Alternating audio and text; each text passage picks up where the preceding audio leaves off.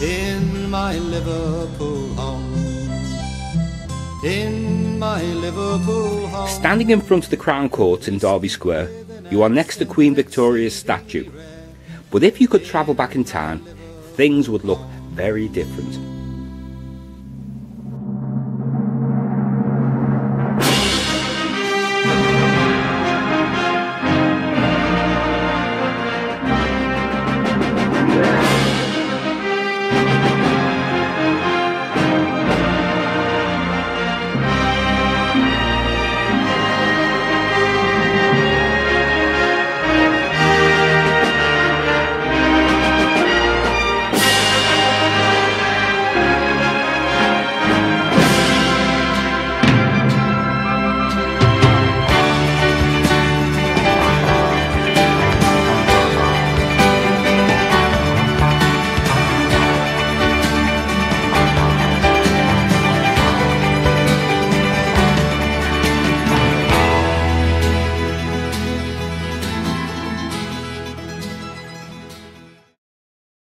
Going back 782 years to 1232, you will be standing on a rocky ledge above the Mersey, the highest point around here.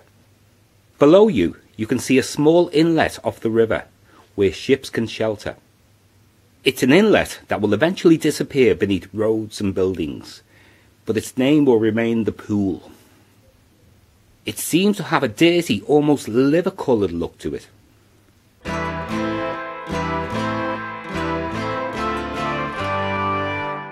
Liverpool Castle's history is unclear in parts. It was probably built sometime between 1232 and 1247 by William de Ferrers. Little is known about the early structure, but in 1347 the castle had four towers and was surrounded by a dry moat. The castle includes the chapel, bakehouse, brewhouse, herb garden, dovecot, and orchard.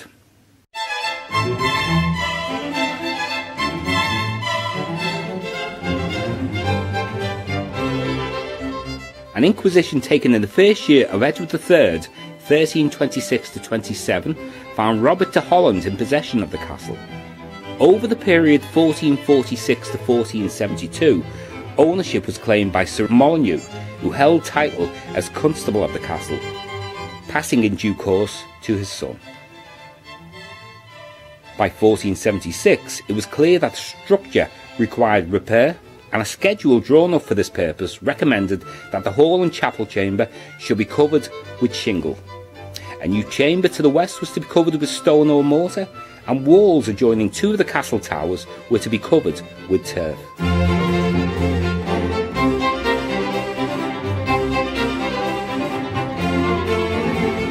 Reference is also made to the gatehouse and prison tower.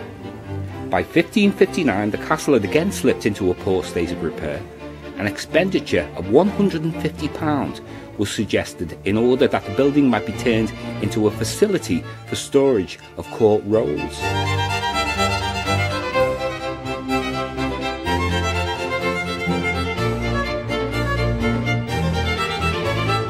Now we travel forward to 1642. Liverpool Castle is standing on the site and it's an impressive building. It was during the Civil War that the castle witnessed some of the most dramatic scenes in Liverpool's history when royalist and parliamentarian forces vied for control. Prince Rupert, having famously declared that a parcel of boys could take Liverpool, gained control of the castle for the royalists in 1644, but only after a week of fighting and the loss of 1500 of his men.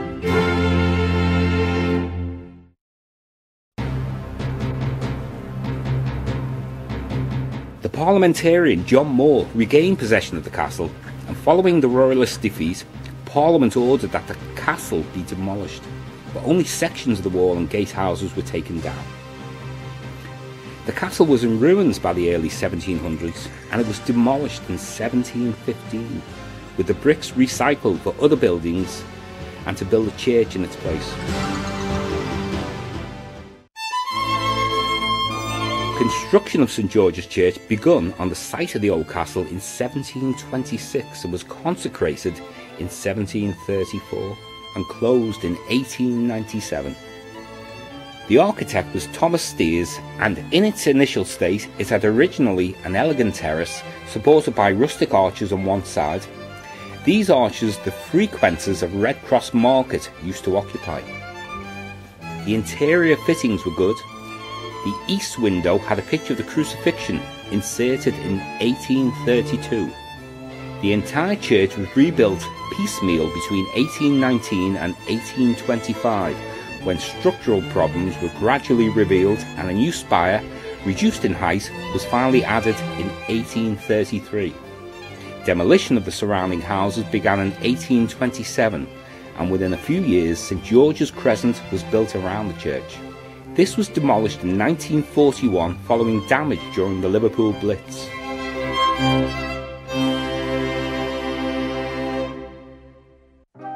In 1863, Mr. Charles Mozley, who was Jewish, was elected mayor, and at this, the incumbent preached a sermon denouncing the choice.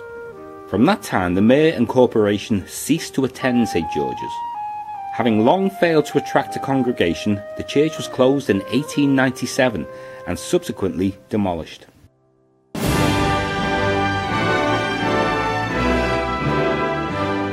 In 1902, the site was used for the construction of the Victoria Monument, which survives to this day. The Victoria Monument was erected by the most important Liverpool based sculptor, C.J. Allen. The monument itself is of Portland stone and all the figures are in bronze. We might pause to note that this monument contains an unusually large number of statues, as well as the figure of Victoria. We have four basal groups of three figures each, four upper figures, each with two infants, and the summit angel. Today the castle is commemorated by a plaque on the side of the Queen Victoria Monument. Local legend says that tunnels led through the sandstone from the castle to the river, through which parliamentarian soldiers escaped from the castle during the Civil War. Today there's no trace of the building that once dominated Liverpool's skyline, but it still lives on in the street names such as Castle Street.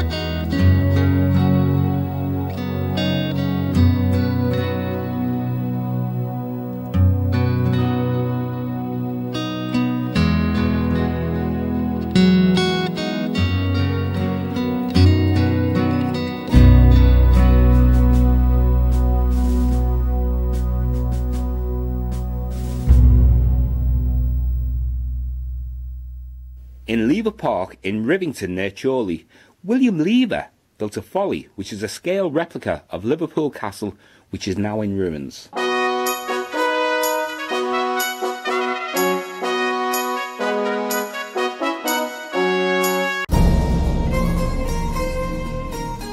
Building started in 1912 and the replica, which was not completed, was based on a conjectural reconstruction of the castle prepared by E.W. Cox in 1892.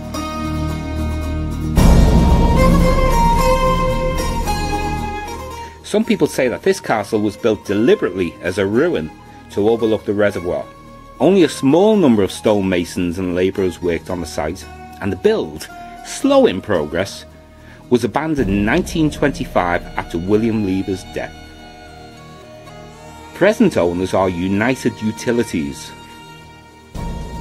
Were this to be a real castle, three hidden defensive passages can be found built into the tower walls of Lever Castle.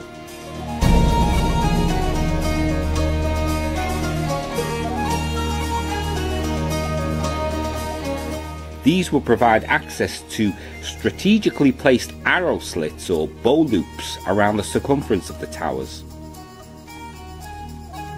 The arrow slits are narrow vertical windows through which archers could shoot arrows.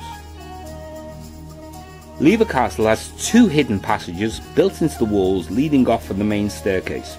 The upper passage is only a small section, but the remains of the passage floor can be seen on the upper part of the wall. This passage would lead to an arrow slit facing away from the reservoir. A second passage, easily accessible at ground level, will be found to lead off from the foot of the staircase that curves round the opposite side of the tower and commands an excellent view along the sides of the castle and down to the reservoir. The lower passage often features in children's games of hide and seek and is often known as the secret passage. If the prison tower lower passage is a secret passage, the Great Tower Passage is an even greater secret.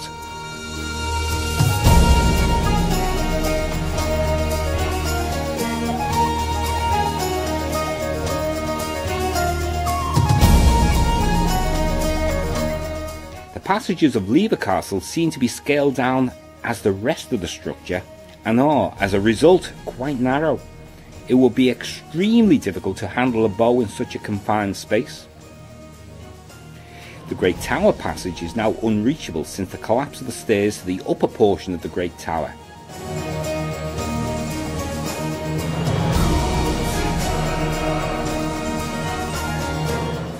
Passage is stable and very well preserved with dressed stone walls and stone flagged floor and roof. The passage can be seen to follow the curve of the tower with an arrow slit looking towards the prison tower the main staircase of Belvoir Castle was a usable spiral staircase until its collapse in the early 1980s.